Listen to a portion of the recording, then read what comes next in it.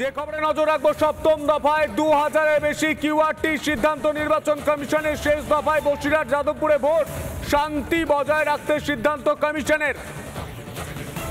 আপনাদের আরও একবার জানিয়ে রাখি, সপ্তম দফায় দু হাজারের বেশি কিউআরটি অর্থাৎ কুইক রেসপন্স টিম।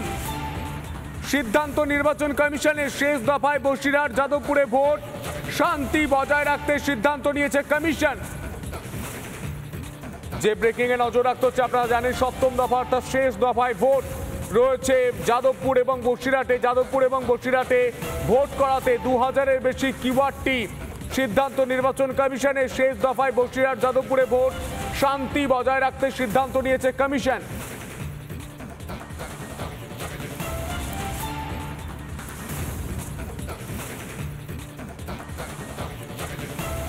সপ্তম দফায় দু হাজারের বেশি কিউআরটি সিদ্ধান্ত নির্বাচন কমিশনের শেষ দফায় বসিরহাটে যাদবপুরে ভোট শান্তি বজায় রাখতে সিদ্ধান্ত নিয়েছে কমিশন।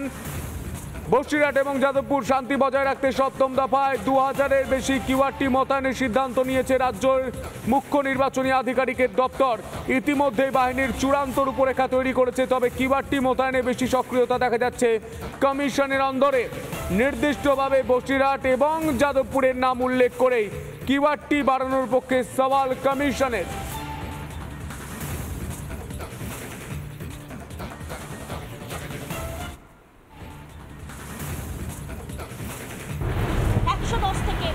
তিরিশ পর্যন্ত হাওয়া সেটার তীব্রতা কতটা হতে পারে সেটা তুমি বুঝতে পারছ?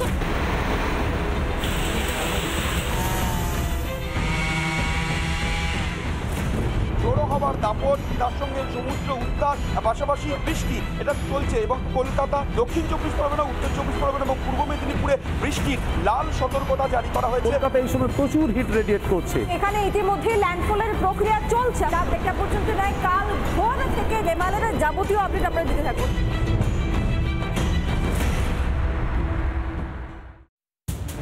রাস্তায় নেই পর্যাপ্ত বাস। আপনাদের জানিয়ে রাখব, রেমালের দাপটের বিপর্যস্ত জনজীবন জলমগ্ন শহরের একাধিক এলাকা। হাঁটু জলে নাজেহাল সাধারণ মানুষ, রাস্তায় নেই পর্যাপ্ত বাস।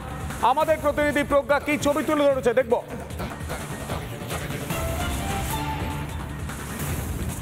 নির্বাচন, নির্বাচনের জন্য রাস্তায় সংখ্যায় বাস তারপর ঘূর্ণিঝড়। এর জন্য আরও বেশি সমস্যায় পড়তে হয়েছে নিত্যযাত্রীদের। তারা জানাচ্ছেন, এই ঘূর্ণিঝড়ের জন্য লোকাল ট্রেন পরিষেবা স্বাভাবিক নয়। আজকে সকাল থেকে মেট্রো রেল পরিষেবাও ব্যাহত হয়েছে। একমাত্র ভরসা এই বাস। এই প্রাইভেট বাসগুলিও পাওয়া যাচ্ছে না, সংখ্যায় কম। একে ঘূর্ণিঝড়, তারপর নির্বাচন, সব মিলিয়ে বাসের সংখ্যা অনেকটাই কম অন্যান্য দিনের তুলনায় আজকের শহরে। আর যার ফলে চরম সমস্যায় পড়তে হচ্ছে সাধারণ যাত্রীদের। সাধারণ যাত্রীরা জানিয়েছেন, ঘণ্টার পর ঘণ্টা তারা দাঁড়িয়ে থাকছেন বাসের জন্য, কিন্তু তারা বাস পাচ্ছেন না এবং যার ফলে গন্তব্যস্থলে পৌঁছতে দেরি হয়ে যাচ্ছে এবং তার সঙ্গে এই প্রাকৃতিক দুর্যোগ চলছে। সময় মতো বাস পাচ্ছি না এক ঘণ্টা মতো দাঁড়িয়ে আছি। আমি তো মেট্রোতে মেট্রো লাইনে পাইনি আমি তা ট্রেনও লাইনে প্রবলেমে হয়েছে সকাল আটটার পর থেকে। ট্রেনও একটা কি মেট্রো চলাচলে বিঘ্নিত আছে? হ্যাঁ হ্যাঁ মেট্রো নেট মেট্রো পুরোটাই বন্ধ। আর ট্রেনও ট্রেনও বন্ধ সকাল নটা পর ছেড়েছে তাও প্রচণ্ড প্রচণ্ড হ্যারাসমেন্ট হচ্ছি আর লোকাল ট্রেনও তো স্বাভাবিক না। না লোকাল ট্রেন পুরোই বন্ধ। আর বাস কি বলছে? বাস পুরো উঠে দিয়েছে। সকাল থেকে যে বৃষ্টি চলছে এখন সেই বৃষ্টি চলে যাচ্ছে। তার ফলে বৃষ্টিতে ভিজে বাধ্য হয়ে বাস স্ট্যান্ডে দাঁড়িয়ে থাকতে হচ্ছে এক নিজেদের গন্তব্যস্থলে পৌঁছবার জন্য বাসের অপেক্ষায়। ক্যামেরায় মোহিত শেখের সঙ্গে প্রজ্ঞা সাহার রিপোর্ট রিপাবলিক বাংলা বাস কম থাকায় সমস্যায় পড়তে হচ্ছে সাধারণ মানুষকে। আর এই বিষয় নিয়ে আমরা কথা বলেছিলাম জয়েন্ট কাউন্সিল অফ বাস সিন্ডিকেটের সাধারণ সম্পাদক তপন ব্যানার্জির সঙ্গে এবং Rahul Chakraborty, general secretary all Bengal bus mini bus অ্যাসোসিয়েশনের। তিনি ঠিক কি বল তারা ঠিক কি বলছেন? শুনব। গতকাল রাত্রি থেকে কলকাতা সহ বেশ কয়েকটা জেলায় যেভাবে ঝড় বৃষ্টি শুরু হয়েছে এবং আজকেও সেই ঝড় ঝড় এবং তার সঙ্গে তুফান রয়েছে, তার পরিপ্রেক্ষিতে রাস্তার কোনো বাস কোনো জানিই নেই, বাস তো দূরের কথা, অন্য কোনো জানিই চলছে না। সুতরাং কলকাতা সহ যেসব জেলায় ব্যাপকভাবে ঝড় বৃষ্টি হয়েছে, সেখানে গাড়ির সংখ্যা কমই আছে। এই কমটা এবং এই দুর্ভোগটা মানুষকে তো ভোগ করতেই হবে। নাইনটি পার্সেন্ট ওপরে বাস এখন চলছে না। তত সময়ের মধ্যে এই দুর্যোগ না, ঠিক হবে। সময় পর্যন্ত আমরা বলতে পারছি না যে বাসের গতি বা বাসের বাস কীভাবে চলবে বা বাস কীভাবে স্বাভাবিক হবে, এটা আমরা এই মুহূর্তে বলা সম্ভবপর না। গতকাল যে বৃষ্টি এবং তার সাথে ঝড়, তাতে করে প্রচুর গাছ ইত্যাদি রাস্তাঘাট বন্ধ হয়ে গেছে, জল জমেছে। অনেক কর্মী তাদের বাড়ির সামনে জল জমেছে, অনেকের বাড়িতে জল ঢুকে গেছে। স্বাভাবিকভাবেই কর্মীরা আসতে পারেননি, বাস, মিনিবাস রাস্তায় বেরোয়নি। আগামীকাল থেকে কিছু বাস মিনিবাস রাস্তায় স্বাভাবিক হওয়া হবে। একটি প্রকাণ্ড গাছ সম্পূর্ণভাবে এখানে পড়ে গেছে। বিদ্যুতের তারের ওপরে পড়েছে। যোগাযোগ সম্পূর্ণভাবে বিচ্ছিন্ন হয়ে গেছে। এই ঝড়খালিতে ঘূর্ণিঝড় রেমালের আফটার শকে রীতিমতো বেসামাল ঝড়খালি। কিছু কিছু জায়গায় এরকম বা- নদী বা ভাঙনটা অনেকটা এগিয়ে এসছে আসার কারণে। বাঁধের অবস্থা কিছুটা খারাপ হয়ে গেছে ফাটল নামতে পারে।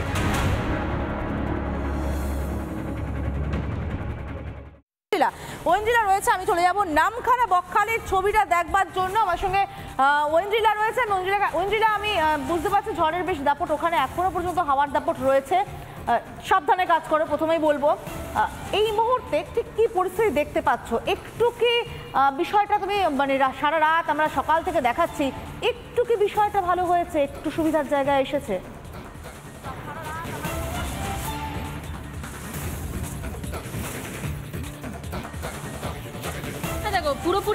একেবারে মেঘ না কেটে গেলেও কিছুটা হয়তো একটুকুনি কমেছে বৃষ্টি এবং তার সঙ্গে হাওয়ার দাপট। এই মুহূর্তে আমরা দেখো নামখানায় দাঁড়িয়ে রয়েছি। গতকাল থেকে যেরকম তাণ্ডব আমরা দেখেছিলাম, গতকাল এই সময়েও যেরকম পরিমাণে হাওয়া এবং বৃষ্টি চলছিল, সেই তুলনায় কিন্তু প্রায় দুটো এই মুহূর্তে প্রায় ছুঁই ছুঁই সেই জায়গায় দাঁড়িয়ে এখন ঘড়ির কাটায় দুটো বারো বেজে গেছে এবং এই সময় দাঁড়িয়ে কিন্তু অনেকটাই ঝড়ের যে একেবারে বলা যায় যে ঝোড়ো হাওয়া, তা কিন্তু অনেকটাই কম এবং কিছু ঘণ্টা আগেও, প্রায় দু ঘণ্টা আগেও এখানে কিন্তু একেবারে প্রায় পঞ্চাশ কিলোমিটার বেগে সেই দমকা হাওয়া বইছিল এবং সেই সঙ্গে জোয়ার ছিল। ভরা কোটাল এবং যে কারণে কিন্তু আমরা দেখতে পাচ্ছিলাম সমুদ্রের জলোচ্ছ্বাসের ছবি। তবে গত প্রায় দেড় ঘণ্টা ধরে আমরা দেখতে পাচ্ছি যে এই নামখানা বকখালি যে এলাকা, এই এলাকায় কিন্তু বৃষ্টিপাতের পরিমাণ আগের তুলনায় বেশ খানিকটা কমেছে। এবং তার মধ্যে আমরা দেখতে পাচ্ছি একদম যে ঝড়ের যে পরের হাওয়া, অর্থাৎ একটা হালকা হাওয়া, সেটা বজায় রয়েছে। কিন্তু যে গতকাল থেকে আমরা দেখেছি যে খুব বেগে হাওয়া তা কিন্তু এই মুহূর্তে লক্ষ্য করা যাচ্ছে না। এবং সেই সঙ্গে সেই সুযোগে যারা পর্যটকরা এসেছিলেন বকখালিতে, তারা কিন্তু এই মুহূর্তে খানিকটা নেমেছেন এবং অনেকে সমুদ্রে স্নান না করলেও পাড়ে রয়েছেন। এবং তোমাকে যে ছবিটা আমি দেখাচ্ছি এই মুহূর্তে সমাদ্রিতা বুঝতেই পারছ, যারা মৎস্যজীবী রয়েছেন, তাদেরকে নিষেধাজ্ঞা জারি করা হলেও কেউ কেউ কিন্তু এই মুহূর্তে একটুকুনি সাহস করে এগিয়েছেন, কারণ পরিবেশ আগের থেকে একটুকুনি কিন্তু দুর্যোগমুক্ত হয়েছে বলা যায়। তবে একশো শতাংশ না হলেও কোথাও গিয়ে থার্টি পার্সেন্ট দুর্যোগমুক্ত হয়েছে এবং সেই কারণেই আমরা দেখতে পাচ্ছি যে সমুদ্রে কেউ কেউ দু থেকে তিনজন নামছেন এবং তারা কিন্তু স্নান করছেন তবে খুব একটা দূরে তারা যাচ্ছেন না, একেবারে পাড়ে দাঁড়িয়েই কার্যত বলা যায়। একদম সামান্য তারা দূরে গিয়ে তারা স্নান করছেন এবং উপভোগ করছেন। কিন্তু সার্বিকভাবে যখন পর্যটকদের জিজ্ঞাসা করা হচ্ছে, তারা কিন্তু এটাই জানাচ্ছেন যে ঝড়ের তীব্রতা গতকাল যেরকমটা ছিল, সেই একেবারে তীব্রতা খানিকটা এখন এই মুহূর্তে হ্রাস পেয়েছে। পরবর্তীতে কিন্তু আজকে সারাদিনই বৃষ্টির সম্ভাবনা রয়েছে। আমরা সকাল থেকেই দেখছিলাম, বকখালির যে আবহাওয়া, তাতে কিন্তু বেশ খানিকক্ষণ বৃষ্টি থামা বন- বন্ধ থাকলেও, তারপর আবারও কিন্তু সেই দমকা হাওয়া এবং ঝোড়ো হাওয়া এবং সেই কারণে এই মুহূর্তে কিন্তু বলাই যায় যে আবারও আবহাওয়ার বদল ঘটতে পারে। আজকে সারাদিন কিন্তু আলিপুর আবহাওয়া দপ্তর জানাচ্ছে এই বকখালি নামখানা এই সমস্ত এলাকায় কিন্তু ভারী বৃষ্টির সতর্কতা জারি করা হয়েছে। সুতরাং ধন্যবাদ ধন্যবাদ ঐন্দ্রিলা যে ছবি আমরা দেখতে পাচ্ছি ভয়ঙ্কর একটা ছবি হয়ে রয়েছে। এবার আমরা ঝড়খালির দিকে নজর রাখব। ঝড়খালি ত্রিদীপনগর ব্লক। রেমালের তাণ্ডব বিপর্যস্ত ঝড়খালি দেখতে পাচ্ছেন ঠিক কি পরিস্থিতি হয়ে রয়েছে এখানে। ফুসছে নদী, বিদ্যুৎ বিচ্ছিন্ন, বেশ কয়েকটি এলাকা ঝড়ের তাণ্ডবে ক্ষতিগ্রস্ত বাঁধও। সৈকত রয়েছে আমার সঙ্গে। সৈকত সম্ভবত বাঁধের উপরেই রয়েছে। আমি যা দেখতে পাচ্ছি, সৈকত, বাঁধটার কি অবস্থা? আর কতক্ষণ থাকবে বলে মনে হচ্ছে?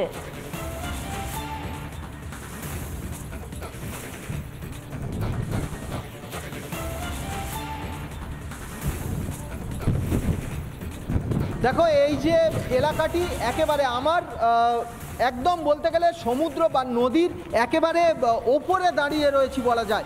কারণ যে বাঁধের ওপর দাঁড়িয়ে রয়েছি, বাঁধের একদিকে ত্রিদীপনগর গ্রাম, অন্যদিকে পঞ্চ নদীর সঙ্গমস্থল এইটা। নদী কিন্তু কার্যত ফুঁসছে। আমার ভিডিও জার্নালিস্ট পার্থসারথী সেই চিত্রটা দেখাচ্ছে।